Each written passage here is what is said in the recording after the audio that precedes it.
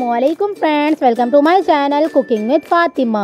कैसे हैं आप सब? उम्मीद करती हूँ आप सब अपने अपने घरों में खैर खैरियत से होंगे, खुशाबाद होंगे, हँसते मुस्कुराते होंगे।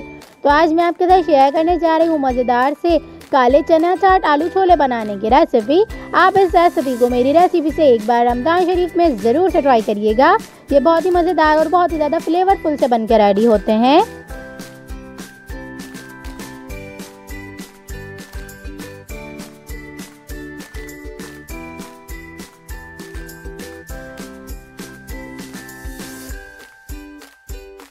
चलें जी रेसिपी स्टार्ट करते हैं। बिस्मिल्लाहिर्रहमानिर्रहीम।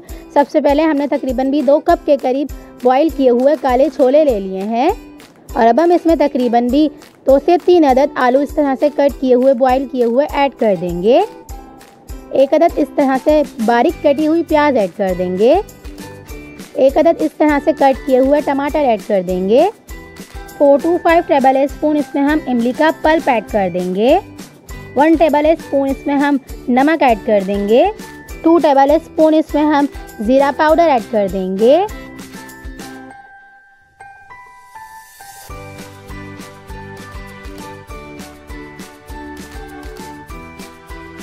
टू टेबल स्पून इसमें हम चाट मसाला पाउडर ऐड कर देंगे और इन तमाम को अच्छी तरह से मिक्स कर लेंगे।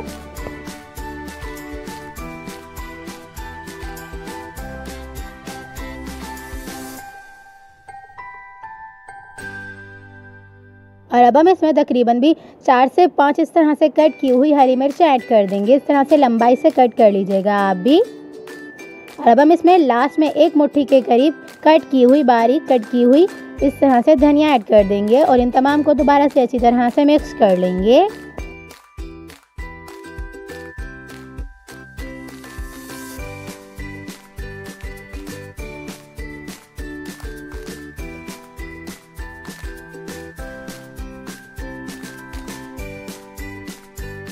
ये देखें जी, बेहतरीन सी हमारी काले चना चाट आलू छोले रेसिपी बनकर रेडी हो चुकी है।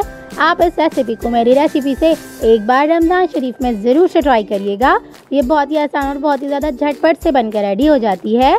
और ये देखिए जी, कितनी फ्लेवरफुल सी बनकर रेडी हुई है, कितने कम टाइम में। रेसिपी अच्छी लगी तो प्लीज़ मेरी रेसिपी को लाइक कर दीजिएगा शेयर कर दीजिएगा और अच्छे अच्छे से कमेंट करके ज़रूर से बताइएगा आपको ये रेसिपी कैसी लगी। चलें जी। मिलते हैं नेक्स्ट वीडियो में। जब तक अपना ख्याल रखिएगा, मुझे दुआओं में याद रखिएगा। मिलते हैं नेक्स्ट वीडियो में। बहुत ही आसान सिंपल और यूनिक सी रेसिपी के साथ। अल्लाह हाफिज़।